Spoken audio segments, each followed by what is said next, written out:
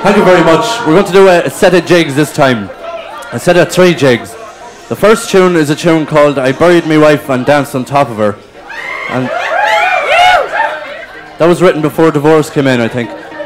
The second tune is a tune called uh, Jerry Hollins, and the third one is a tune that we call John McKenna's, who's a Leitrim flute player. And uh, he lived around in the 20s and he went over to the States. He was one of the first Irish musicians to go to the States in the 20s to record on the old 78s. So three jigs.